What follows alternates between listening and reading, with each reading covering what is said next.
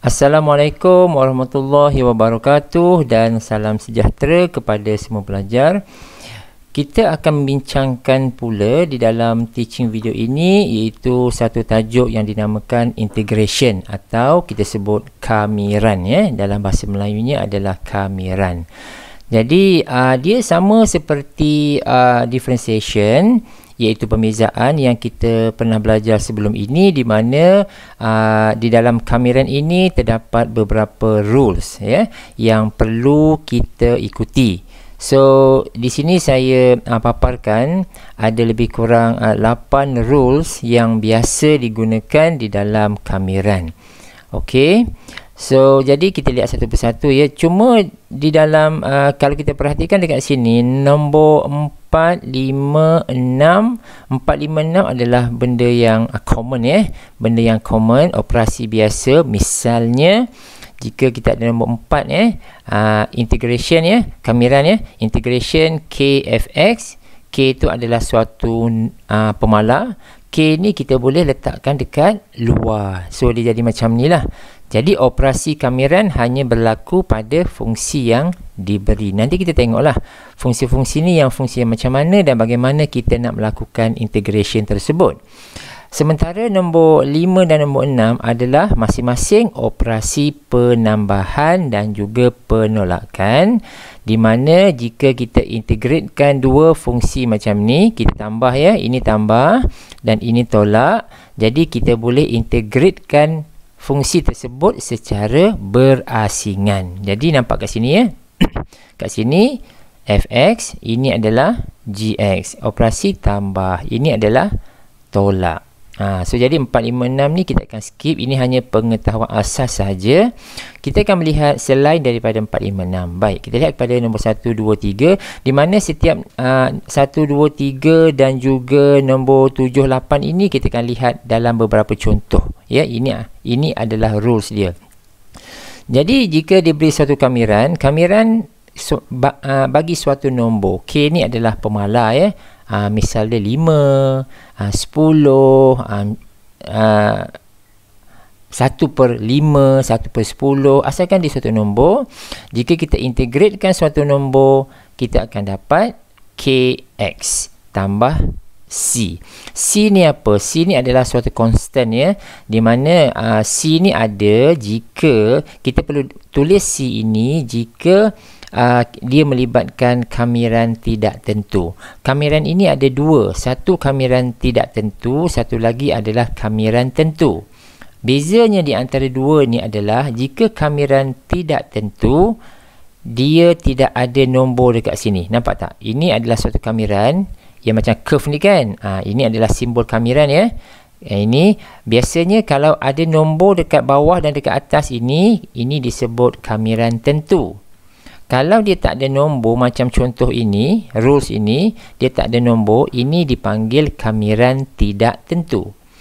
Dalam kamiran tidak tentu, kita perlu letak C di penghujung hasil kita.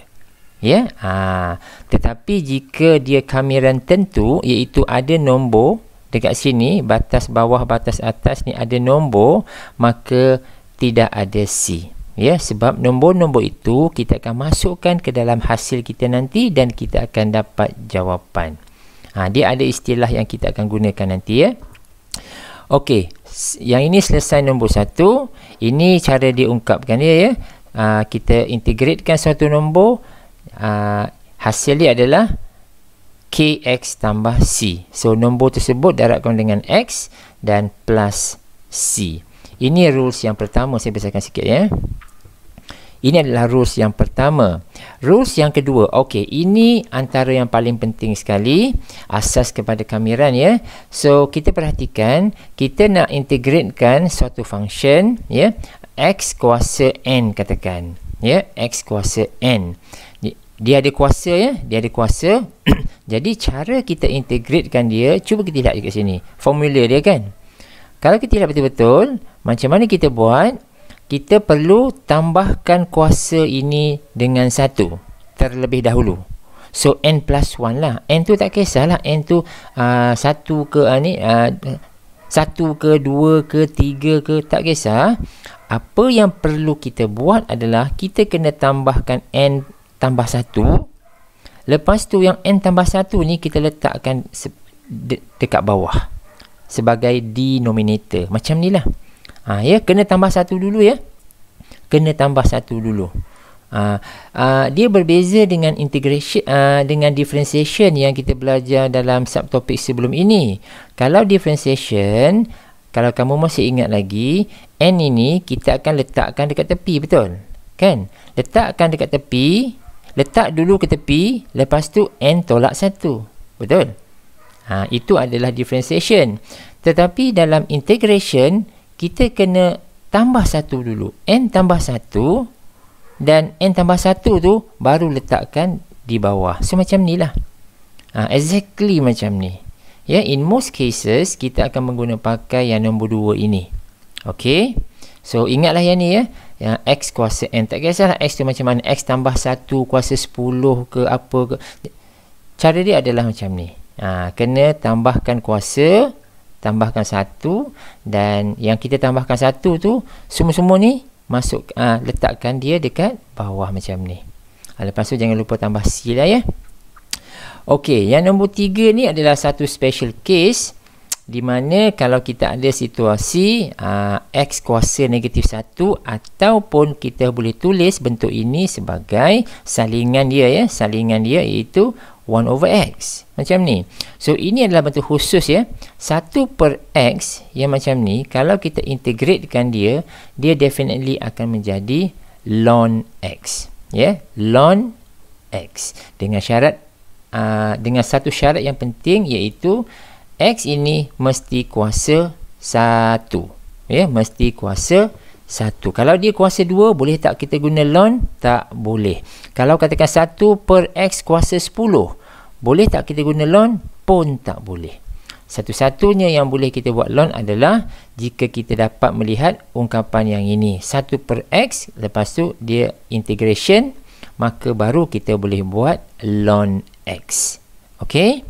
So, ini adalah 1, 2, 3 yang penting. Lepas tu yang 4, 5, 6 ini seperti yang saya sebutkan tadi. Ini adalah basic knowledge yang kita akan guna pakailah. lah. Ha, tapi basic aja lah ya. Baik, kita pergi kepada nombor 7 dan 8. Nombor 7 lah ya. Nombor 7. Iaitu tadi kita dah belajar ln. Now kita belajar eksponen pula. So eksponen, jika kita integratekan eksponen, kita akan dapat eksponen itu semula. Saya ulang semula. Jika kita integratekan eksponen, maka kita akan dapat eksponen x itu semula. Okay. Just exactly macam ni. Akan tetapi, jika kita ada satu situasi seperti nombor 8 ini, iaitu eksponen power of kx. K itu apa? Suatu nombor. Ya, Contohnya, kita nak integrate eksponen kuasa 2x. Ya, K itu 2 lah ya. 2x. Maka cara dia adalah, mula-mula salin dulu. Salin dulu, nampak tak? Ha, salin dulu.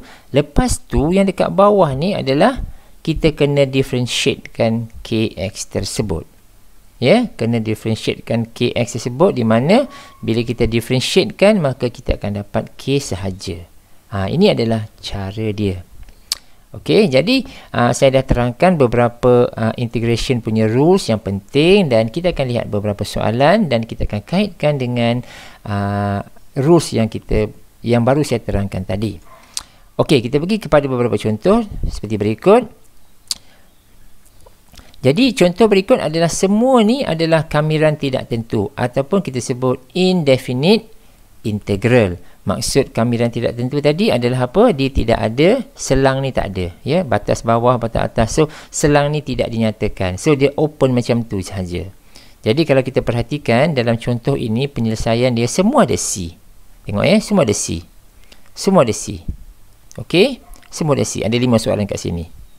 Ha, jadi, kita cuba lihat satu persatu. Nombor satu, saya letakkan dia punya rules di, sebelah kanan supaya kita senang untuk buat rujukan.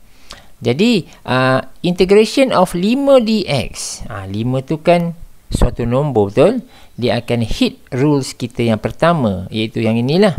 Kalau kalau ingat uh, kalau kita ingat tadi kan kita boleh tengok baliklah rules tadi tu jadi kita ada integration of k dx kita boleh ungkap dia sebagai kx tambah c jadi dia akan jadi macam ni lah ha, 5x tambah c boleh ya baik ini adalah soalan nombor 2 dia akan merujuk kepada rules yang ini.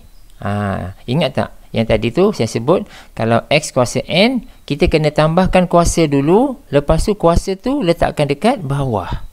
Ha, so jadi cuba kita lihat contoh nombor 2 ini. Kita ada x kuasa 3 kan? X kuasa 3 bila kita nak integratekan bentuk yang macam ini apa yang perlu kita buat adalah kena 3 tambah 1 ha, kena tambah dulu kan 3 tambah 1 kan 4 So empat ni kita letakkan dekat bawah sebagai pembahagi dia. Macam ni. Nampak tak? So uh, mungkin contoh ini jelas menerangkan kepada kita macam mana kita nak menggunakan uh, rules yang ini. Ya, nombor dua ni kira penting lah ya, penting lah. Okey, nombor dua, nombor tiga dan seterusnya ni, uh, dia dua, tiga, empat ni dia berkongsi idea yang sama. Cuba kita lihat nombor tiga pula. Kita ada dua x kuasa empat Tadi saya sebut apa? Kalau ada kuasa, kena kuasa ni kena tambah satu dulu kan? Lepas tu, bila dah tambah, baru kita humbankan dia dekat bawah. Kan? So, kita pun tambah je lah. So, kita ada apa? Ini empat, ini empat. Maka empat tambah satu, lima kan? Ha, so, kita dapat yang ini. Nampak? Lima ni. Dan lima ni kita letakkan dekat bawah. So, inilah jawapan dia. Ha, okay. Baik, nombor empat pula adalah uh, ini adalah integration of two different function. Operasi dia tolak. So, bila tolak, maka kita boleh treat dia sebagai individu. So, kena integratekan yang ini, kena integratekan yang ini. Buat satu persatu lah. So, ini adalah jawapan dia. Ya, 2x kuasa 4, dia akan jadi 2x kuasa 5 per 5. Tolak, tolak ni lah. Ini x kuasa 2 kan? Dia akan jadi x kuasa 3 per 3. Macam ni lah. Ha, Okey, boleh nah? So, nombor 5 adalah mudah sahaja iaitu melibatkan eksponen. Kita akan menggunakan rules yang dalam kotak biru ini. So, jadi kalau kita bandingkan antara kotak biru ini, rules dia dengan ini, maka kita akan dapat tahulah ya. So, eksponen 2x integratekan dia kita akan dapat salin semula eksponen 2x tetapi kena differentiatekan yang atas ini. Maka kita akan dapat 2 so ini adalah jawapan dia. Boleh? Ok eh? so ini adalah basic knowledge mengenai integration. Uh, yang melibatkan uh, kamiran tidak tentu. So nanti dalam uh, uh, oh ini apa pula? Ok ini ada satu lagi contoh Ha, yang perlu saya terangkan iaitu dia masih lagi kamiran tidak tentu sebab tidak ada nilai dekat sini ya. So macam mana kita nak buat ini? Ha, ini adalah satu function. Ini adalah satu lagi function. Jadi ada hasil darab dua fungsi macam ni kan. So bila melibatkan yang macam ni cara yang paling mudah untuk kita buat adalah kita kena kembangkan dia terlebih dahulu. Kena darab lah. Kena darab dua fungsi ni. Kalau masih ingat lagi ya. So 2x darab dengan x uh, tambah 2x darab dengan 1 tambah negatif x darab dengan x tambah negatif x tambah uh, darab 1 Okey, itu proses dia lah. Kena ingat dia di dalam polinomial. Bila kita expandkan dia, dah kembangkan, kita dah darab masuk, kita akan dapat yang ini. Kita akan dapat uh, 2x kuasa 2 tambah x tolak 1. Jadi kalau kita perhatikan dekat sini, dia ada tiga fungsi kan? Satu dua tiga dan dia melibatkan operasi plus dan minus. Jadi oleh sebab itu kita boleh integratekan dia satu persatu. So this part gonna be this. Ingat ya? So 2x kuasa 2 dia akan jadi apa dia akan jadi 2x kuasa 3 lah. Betul? Per 3 ha, so dapat ini so yang ini pun cara dia sama dan ini pun cara dia sama. Dan jangan lupa letak C dekat sini. Okey, so ini adalah satu contoh. Yang ini pun contoh yang sama juga. Kita nak darabkan yang ini. Jadi proses dia adalah kita kena darabkan darab masuk. Ni darab masuk ya darab masuk. Jadi kita akan last sekali kita akan apa-apa buat buat sedikit pengiraan. Dah, dah dah saya terangkan dekat sini. And finally kita akan dapat yang inilah yang ni yang saya gerakkan mouse ni kita akan dapat x kuasa 5 per 2 tambah x kuasa 1 per 2 jadi idea dia apabila kita nak integratekan kita sentiasa perlu tambah 1 kan? Ha, so nampak tak saya buat 1 kat sini? So sekarang ni kena kira sikit lah so x 5 per 2 tambah 1 lepas tu yang kuasa ni semua-semua ni letakkan di bawah. Ha, yang ni pun sama juga. Ok yang ni ini pun sama juga kena tambah 1 dan semua-semua ni kena letak ke di bawah jadi buat sedikit pengiraan seperti ini dan finally kita akan dapat jawapan seperti berikut ok guys So, saya rasa sampai sini dulu uh, teaching video kita. Kita akan sambung dalam teaching video yang akan datang. Thanks for watching. See you in the next video.